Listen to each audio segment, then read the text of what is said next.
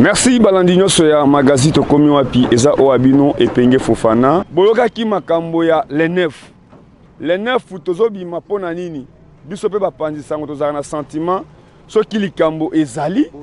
mpo na nini nde biso mpe tolobaka mbote matondo mingi bana ya honorable ndeko liezer losako place oza depute ya solosolo molobeli ya peuple Deux mandats kozala na ngo ya sans kosala polemique. Merci mingi mpo na yambi bino na pokwa lelo. Merci. Obimi molobeli ya mboka yango olobelaka mboka oyebaka ba conditions bazaleli lelo tolali tolamuki mboka yango olobelaka elamuki ndenge nini? mboka eza na nungunungu toza na covid-19 eh, mboka eza bien te dollar ezomatamata par rapport ya kimoyibi ya kamera malisa dollar emati ekomi lelo ekomi boye mais malgré ça nous tenons mais nzambe akosala kaka tokufa mpe jamais tomesana bongo mais nabanza ke makambo ekoma kitoko mpo tout est calme nalingi natuna question oyo batuni nga parti ya europe balobi kozala congolais bien kozala muluba mukongo muswahili musakata muyanzi eloko nini etusha yo mpo otambola mpena na ideologie ya etienne tshisekedi non Tshisekedi be senkande, papa toma landa, papa debout congolais, le vieux imam, mukongwa koba, ekangi balabala, dictature ezanga jamais, ebembe etondisa stade de martyrs, ebembe, mwana ebembe mutu akufa atu mususu bakunde après deux ans, banda monde eza monde, tshisekedi atika nde idologie, tshisekedi est mort, mais atika ba pays sekediste baza awa, alobaka nini? Aba la père. nde yango wana ozomona ke lelo oyo ntango otala idp aza na pouvoir mais tantôt na pouvoir tantôt na opposition par manque d'une opposition sérieuse idps azwaka tous les deux jeux yango wana ozomona ke tisekedi atika ba tisekediste oyo toza awa mpo kala mingi te ngai mpe nakoma defa faci na dirige mpe mboka oyo natuni question okozala bien si osadre na ideologie ya tisekedi me koma ata mutuka na yo eloko nini etinda yo otia foto ya etienne tisekedi ozwaka etienne tisekedi kome nani écoutez omoni oyo ça c'est un monument ngai naza fachiste te ngai naza tisekediste mpo fachi ye moko aza nani aza tisekediste mpo na mutu oyo oyo atikala atikela biso héritage moko banda monde eza monde tomona moto ya bongo te ne fiske maloba maloba ezalaka badone alors akoma modèle oyo tomoni ke bakosala kutu monima na ye awa na lime te mpe kobetama ntina monde entier bon kala mingi tokokuta tokoma badepute tokosala kutu lwa moko ke journée moko ya consacre kaka mpo na etienne sekedi be 52 moakoba papa oyo asalaki bajeune lelo batelema baloba politike babanga mpe eloko moko te yango nazomona ke totie ye bongo mpo na cadre ya ko immortaliser motu na ye merci lelo bakongole baza na bakanda baza na bandako meme lipa ya pamba publicité na yango eza te mais loi minako lelo bato baza na mposa ya matala koyeba loi yango te babenga kaka loi minako yo ataka moto ya mibeko moto oza koakompagne vision ya chef de l'etat oyambaki message wana ndenge nini mais loi minako eza loi moko ya kindoki loi ya minaku eza loi ya kindoki oyo ntango amoni ntango tozolobaki yano la justice élève une nation ye aye kobanga alobi no soki eza bongo loi na ye wana balingi basala ke magistrat ya parquet akomi neti opj donc eza lisusu na mwa adire te donc ministre ya justice aza na capacité ya koyebisa magistrat ke kokanga moto wana te mpe moto asali nini afukami pourquoi parce que ministre rais aza moto ya nini ya fcc mpo bayebiki na kati ya fcc bandongolo miso basala makambo ebele baza na kati nde tomonaki elwa wana ekoleka jamais yango mona basango nini basali retrait poli retrait poli pourquoi parce que le peuple baboyaki lwa asali nini eleka me nini okoloba na moto azalaki président ya assemblée Eliya Idjofa mais balobi ti sikoyo bazoluka kombo na ye na ceni meme ata affiche ya campagne ya 2018 eza te mabima depute national nzela ya kolongwa ya chikapa okota Idjofa mpo Idjofa ezala na kati mais molobeli ya Idjofa aya na assemblée alobi eloko te pendant une année mabimisi loi badistraire biso na loi bamisi mbala moko mpe lisusu makambo ya président expert ya ceni non babetaki ba, babetaki bal ballon de sei O comprendre? Bakosi peuple na loi. Que heure peuple ekomi, ekomi concentre na loi,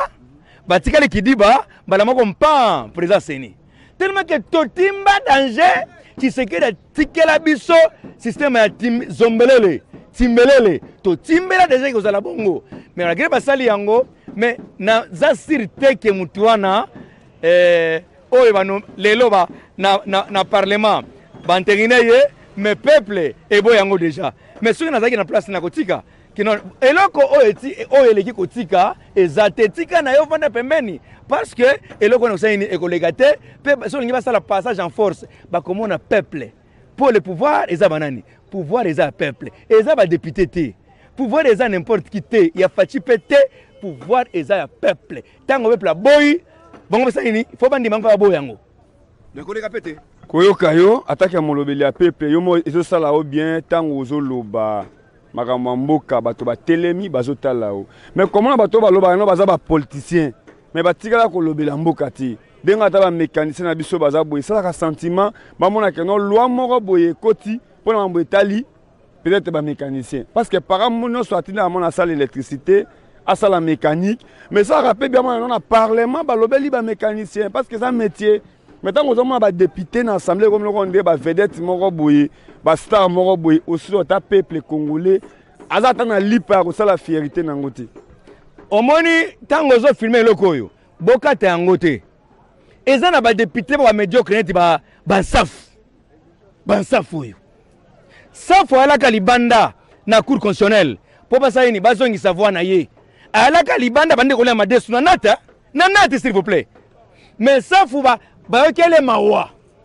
pan akomi depute mais ntango akomi depute lelo oyo Osi omona ye aye ata na batu ke ba peuple eza boye eza boye eza boye eza boye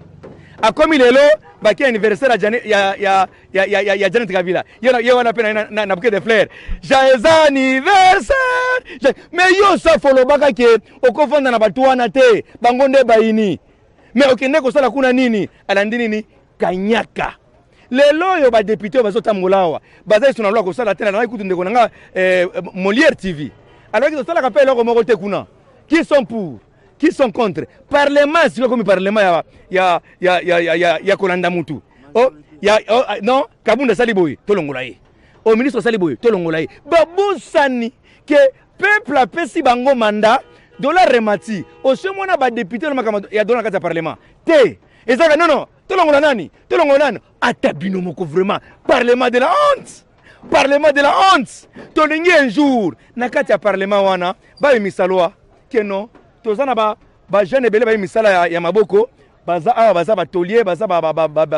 bamenisier baza bapeintre toko créer eh, eh, eh, entreprise moko mpo na kozwa bajeune nyonso oyo totie bango bamoyen babanda kotravaille badepute basala yango te me mosala yango eza nini tolongola oyo tolongola oyo tolongola oyo ata bino moko vraiment tomona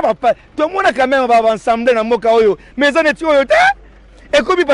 bato bavandi o oh non fati asalaki boye ata bino moko epuis na kati ya mboka oyo pourquoi pas badepute na kotelema un jour babeke non na mboka na biso dollar emati qu'est ce qu'on peut faire mpo ezalisa nini ekita rien rien baza wana oyo tosala loi ya, ya yo ozalaka président assemblée nationale pendant 7 ans ochangeaka ine kuna depuis badepute baza awa badepute basiejaka nini echangea na, na, na vie ya peuple eza te eza te eza komi kotamba na motuka kanyaka eya ale kanyaka tolongola oyo tozongisa oyo et puis je vais reposer la question basalaka ya rapide ti balongolaka bundu balongolaka bundu ti mais nini ezangi sikoyo ke batya moto oyo aremplace kabundu nini ezangi bavandi ti lelo ozomona me soki ke eza makambo etali mboka balobaka yango te yango na bayemela yango nzembo ke tokovote lisusu tokovote biso banyama na bino ti tokovote lisusu donc omoni ke peuple kutu azotala amoni ke c'est trop c'est trop omoni tshisekedi avait dit tshisekedi avait dit La reaction des peuples affamés dépasse l'explosion d'une bombe atomique. Un jour, biso peuple, tokobengana tous les députés awa mpe banage. Un jour, biso peuple, soki tofotaka bango, toko, toko, un jour tokotelemaka tobengani bango mpe banage bakei. Mais lelo batambe mwamba bazokola, balambert mende bazokola, Denis Lesi na Sony okoloba nini mpo na makambo omoni deni lezi eh? deni lezi soni kafuta sont les médiocres deni lezi eh, soni kafuta sont les médiocres d'ailleurs na congo okomi mpasi tondimela bapaster lisusu ocomprendre hein? je vais vous, vous, vous, vous poser une question ndeko meme ata yo moko nalingaki namona un jour paster moko congolais alobi ke Batuee election ezoya na Congo awa Fatshi akoleka chef de l'etat aucun pasteur congolais asala yango aucun pasteur tomona pasteur na Ghana na Ghana ah, na kati ya kilte alobi ke Fatshi akoma chef de l'etat mais baoyo awa bandongolo misu ya kota na poche ya kabila mais Denis Lezi Denis Lezi Denis Lezi Denis Lezi azalaka na prison ti pourquoi Pourquoi? Un pasteur bakangaka ye pourquoi? Luka information bakanga type wana. Église na ekufa pona nini? Église ya Denis Lez ekufa pona nini? C'est un des médiocres, les corrompus. Ce ne sont pas les gens intègres qu'on peut faire une référence à pasteur. Non, non. non. D'ailleurs, na Congo, les pasteurs ya solo bakomi ya kondi ata mibale. Si 80 millions ya pasteur na Congo matami mibale. Vaut mieux na pesa na pesa tanani eh, confiance ya pasteur ba, banglophone que les congolais parce que les congolais sont manipulables bakobenga wape soki kayaka na butu achange achange prophétie oh, coronavirus oyo ye nalingi namona pasteur moko akolakela mo savana samile kona besi esila nalingi namona pasteur moko yono yozala kobisiaka na samile mpona esila okomona kala mingi te bakobanda koteka maske bapasteur wana baeglise na bango maske oyo eza na 100 dollar eza win euti na belgique soki olati eza na mafuta ya huile d'onction okobika le voleur Les voleurs. Trop c'est trop. La réaction des peuples affamés dépasse l'explosion d'une bombe atomique. Yeba lelo yo. Yeba lelo yo. Nana nana ndimaka te qu'un jour policier na peuple bakoloba bakoloba monoko moko. Kona nga moko atunaka Fatshi abisi Fatshi ke Fatshi. Eza na eloko moko oyo Kabila sala yo kosala yango jamais na vie na yo. alobi ke nini ke te bokonzi eza lomo kabila sala yo na ndenge okufa kosala yango jamais alobi eza eloko nini mpo kabila azwa tous les professeurs université likolo akisi yango na se tous les professeurs akisi yango na se babandi ofibe na mabele tout le monde na molongo senateur kabila azwa tous les professeurs ya congo bakoma tout le monde alakelele Je m'incline, je m'incline. Fatshi akosala yango Israël parce que yebi que ce sont les professeurs qui enseignent nos enfants. Ce sont les professeurs oyo bazopesa ke moto abanda ko réfléchir. Ce sont les professeurs bato ah, ka, sénateur Kabila azwaki na pasteur bango tu ala kelele neti badeni les wana mulongo mpo na kanyaka kanyaka Etienne Sekedi asalaka bien parce que akosa biso na école totanga ke mbongo eza mbongo mais volonté ya peuple eza volonté ya peuple yango wana apesi bandeko na ngai nyonso mbote frank diongo eh, jean marc abund le président ai seke janga deli de pese augustin kabuya sans pour autant oublier d'abord ye moko le chef de l'état mwana mokongo ya koba là où repose la confiance du peuple son excellence félix antoine sekedi tshilombo sans oublier molobeli ya solosolo ndeko na nga eh, eliezer ntambu matondo mingi double mandat double brasakala mingi te kozala bongo mpo yo afo okoma pata premier ministre mpo mérite yango mpo ozolanda biloko ya bambongo te bakanyaka te tozomona ndenge osala mosala ozokita na terrain mais le, le reste ici eza oyo akita oyo abima mingi ya koloba eza te natomeli ah, nasepeli mingi ntango namoni ekimobima ndenge ekokolanda ngai place ngai naza mpo naza na base na ngai awa toyosola na bango soki okofilme no bango bango nyonso baza uh, babami na nga bakamara na nga nde bakamara na nga bango oyo baoyo nde bakamara na nga tokoba topartage secret tomeli donc ata ndenge nakoma ngai kana mingi te nakoma chef de leta ya mboka oyo nakosala bango misala kitoko yokaki nzembo lekaki dernièrement awa boma policier boma boma député tika police boma azalaki na wana boma boma député tika police calcule ke biso tonomaki ba deputes tolobi ke eh, peuple alobi ke boma mutu wana rend toi compte tonomaki tovotaki topesaki ba voix mais biso tongeno boboma mutu wana qu'est-ce que cela veut dire c'est-à-dire il y a une trahison on a trahi les gens bakomi kotuna mutu yo oza depute kana depute te pourquoi mpona mabe osala mpona peuple badepute bakomi bamiyini yango wana tokomi koloba ke tokovote lisusu parlement oyo tozobeta ondire transition sans kabila oyo mandat ya faci eza transition sans kabila parce que faci akobeta deux mandat après oyo tobandi première deuxième 18 ans tochange constitution nga kutu na naloba boye badepute nyonso wana baza nomme eza badepute oyo biso ovotaki te donc tosatandaki na vrai parlement me oyo tozomona wana yango te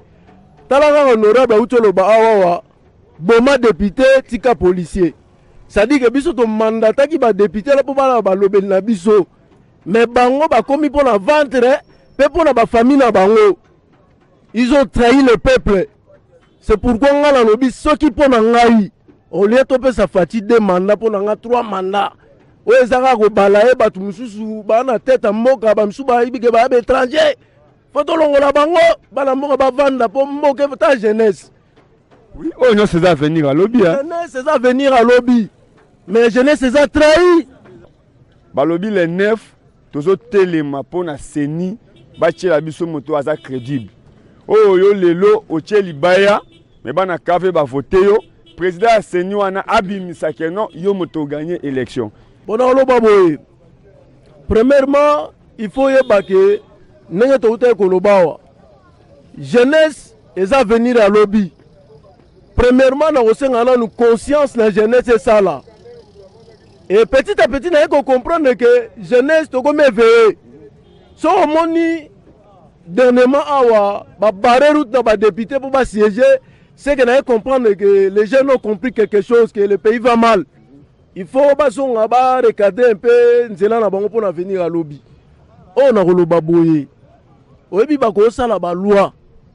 basali nyonso mais institution président Reste modèle moto akokuafe eza Fatshi Beton. Tomona balwa mosusu Kabila asali eleki mais plutôt Assemblée nationale asali mpo na majorité peut-être mpo na minoritaire na côté opposition mais ekomi mpa Kabila afandeli yango bongo pa Fatshi mpo afandeli yango leo nezangi tozobombana pamba affaire eleki mais ekomi mpa Fatshi Fatshi afandeli yango c'est lui le garant omoni eloko eza ndeko na ngai ntango fcc bazalaki na pouvoir basalaki constitution mpe baloi mosusu na ta ya kabila e bakanisi ye peut-être kabila ozala président vie ah 350 bale président ozo azo renie nga moyen na renie eza te mama ye mo mabe sana kutu koloba te bamai kutu na bakave na bangirikoto ezalaka te sikoyo babiloko wana tolobela te Fatshi soki loi eleki amoniongo oyo eza na misu 4 fandola yango moto akobomo aza te kabila afandi abeti 18 ans awa soki kombe dane awa nalobi ya solo 18 ans ya kabila neya eloko te wana selo bule na nga donc eh, oyo nga nalobi wana napesi eserta na congo nayebi ke tôt ta un jour le dieu de kimbangu akotelema akokata likama moko oyo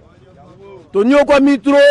na ntango ya bowumbu ya banoko toye lisusu na ntango ya bowumbu ya afdel donc eza misiki donc ezalaka te napesi mpe mbote na bana kave na bana mbinza precisement na malweka epai ngai nabotami napesi bango mbote bola na bilili tobondela mpo na mboka un jour Congo ekotelema. Papa mbote. Mbote ndeko journaliste. komona yo olati veste oza na sentiment ya kolata veste mpo oza atake molobeli ya bacongolais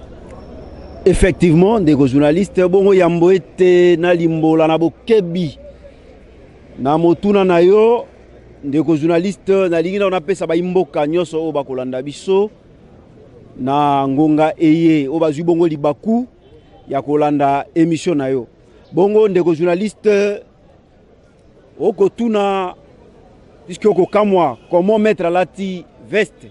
Je pense que ce n'est que normal. Je suis avocat et nazalaki bongo na réunion ya parti na ngai oyo touti bongo kozwa ba directive puisque euh, normalement tosengeli esengeli ete bakongole nyonso batelema mpo ete basauve ekolo ya koyoka yo toboyi na election oyo ekoya ba peuple vote yo ekoma keno oke kolala na cour constitutionnel mpo bazongisa yo toza na besoin ya motu ya yambo akamba seni toboyi makambo elekaki na 2006 na 2011 toboyi makambo eleki na 2018 me ya komona bapaster na bino okoya baeglise de reveil baponi na bango motu yo atake politicien atake maître avocat babi denis lesi na papa na biso oyo awa soni kafuta basali ya nzambe baponeli bino motu mais mpo ya nini bozotambola na peuple le nef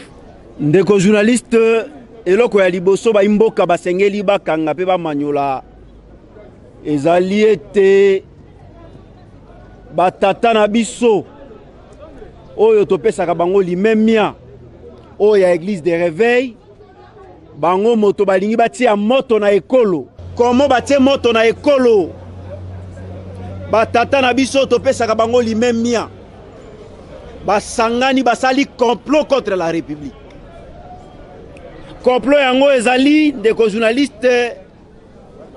dans ce sens où bapapa na biso bakei bongo kobimisa kopona de manière irrégulière ndeko na biso malonda oyo meme esika alobi ete asambelaka na eglise kimbangiste bazo koreconnaitre ye te mais tocomprendre te comment Papa na biso Sony Kafuta na ndeko na biso Denis Lesi bango mibale balobi ete ndeko Malonda bavote ye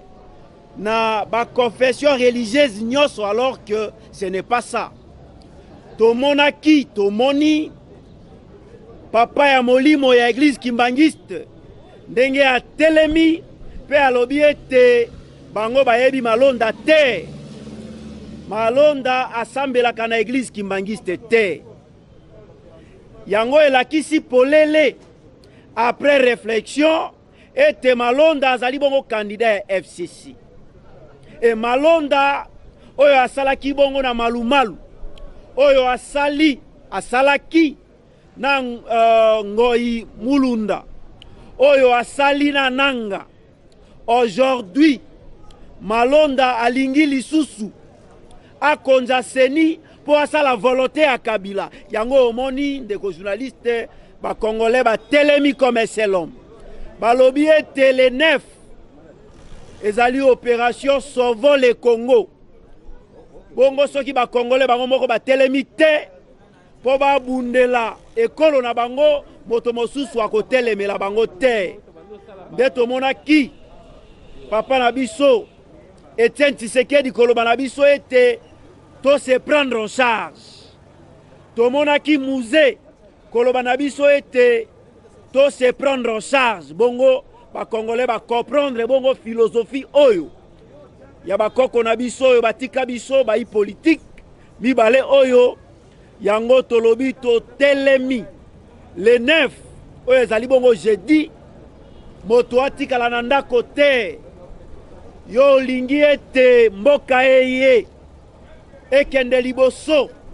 kabila azonga na bokonzi te comme, comme empereur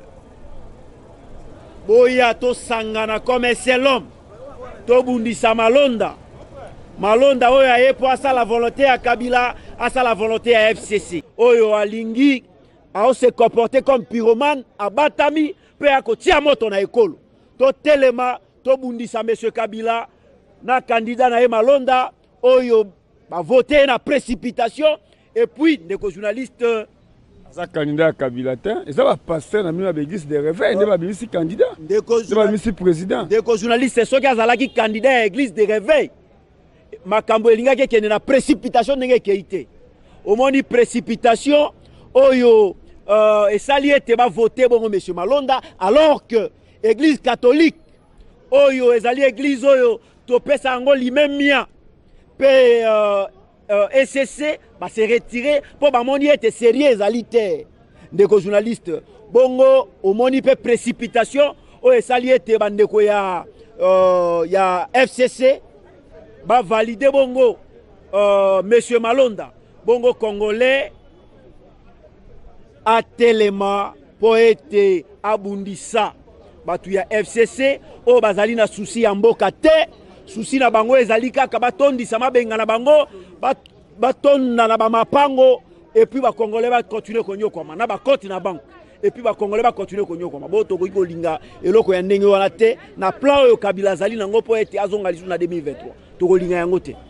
mais ntango ozomona bato baza baelu ya peuple basenateur badepute nationaux bakosalaka lokola comédie na assemblée nationale ezosalaka yo ndenge badepute wapi baparlementaire numérique oyo bavota na machine wana oyo biso boyaka baza volonté ya peuple te bakosala likambo ya malonga te yango wana article 64 elobi ete bengana kabila na mboka peuple congolais oyo alingi eke kabila azonga te na pouvoir atikala na ndako na ye oyo alingi ke systeme ya kabila to dekabilize mboka abima le 9 alakisa ye ke tolingi lisusu kabila te oyebi kabila moto azoprotege mwa moke eza président de la république biso ko nga kota lelo so babi ke kabila lelo bokanga ye toki tokangi ye peuple azalaka na besoin ya kabila te peuple azalaka na besoin ya libala wana te yango wana peuple lokola yo oboya libala ya bandeko na, ndeko na biso na moto azali kotya mbilinga mbilinga oyo aza nioka bima na balabala eza likambo ya kasi te eza likambo ya lamuka te eza likambo ya mlp te eza likambo ya parti so, eh, politike songolo te ezali likambo ya peuple congolais mpo azwa desizio mpo na lokumu ya mboka Olingi Kabila azonga na 2023 vanda na ndako. Olingi Kabila azonga lisusu te akima mboko oyo bima le 9 na balabala. Olakisa ke Kabila biso olingi yo lisusu te na système na yo. Tokokanga yo totindi yo na CPI. Yo ozoloba Kabila mais bato baponi président ya CENI eza ba pasteur na bino. Bato hein? baponi na CENI eyali ba pasteur oyo batravayaka a complicité na ndeko Kabila na système ya Kabila.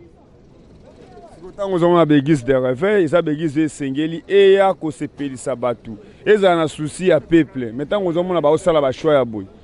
soni kafuta azaka pembeni na yo nakotanga bakombo ya bato te mai soki ezali eglise ezali eglise oyo eza na mawa ya population te ya peuple congolais te sikoyo peuple congolais akobima na balabala mpo alakisa ke bato oyo bakendaki kovote malonda baa minoritaire donc bezali nango peuple te ezali bato oyo bamesana kozwa kaniaka ya fcc bango nde bamesana mais le 9 oyo biso nyonso kongo mobimba esika kongole nyonso azali akobima mpo eko alakisa ke kabila na systeme na ye to kosilana na yango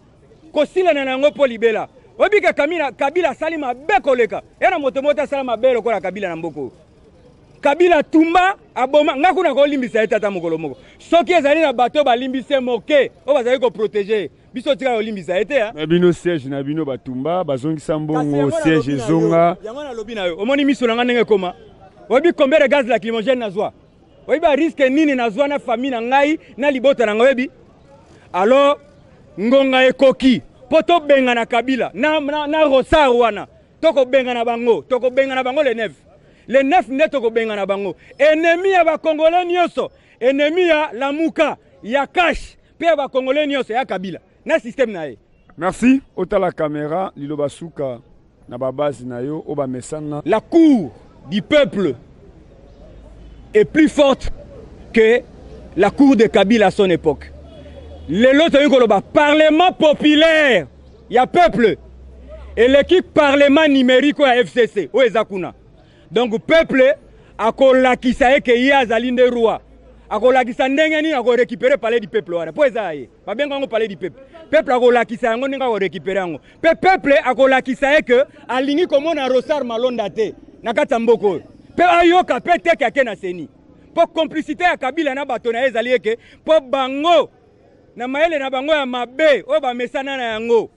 ya bamashine ya vole ya triche mayele na bango ya mabe mpo ete baluka lokola rosar amesanaka na baje wana banda malumalu banda naissance ya seni esalema mpo aluka ndenge nini akozongisa kabila na pouvoir kasi kabila akokutana na peuple congolais fcc na ye ekokutana na peuple congolais na balabala mokolo wana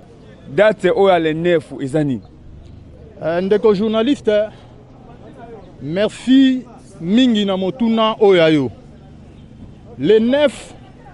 peuple congolais nyonso alobi ke akobima na nzela mpo na kotelemela bato oyo bazali bayini ya congo ezali bato oyo ya fcc bafabrike moto na bango Balingi batya ye na CENI, ba respecter d'ailleurs procedure te. Yango wana peuple congolais alobi le 9 biso nyonso na nzela mpona kotelemela baye oyo ya FCC bazali kolinga ba imposer biso choix ya moto ya CENI. Oyebi ndeko journaliste ke moto wana na confession na kati ya ba confession religieuse ata moko te azali ko reconnaître ye. Seke moto wana azali kandida azali kandida ya fcc ndeko journaliste eza ya koraisonne te azali kandida ya fcc yango wana biso tozali korepresente moamba tolobi ke le 9 bana moamba nyonso babima na nzela mpo na kotelemela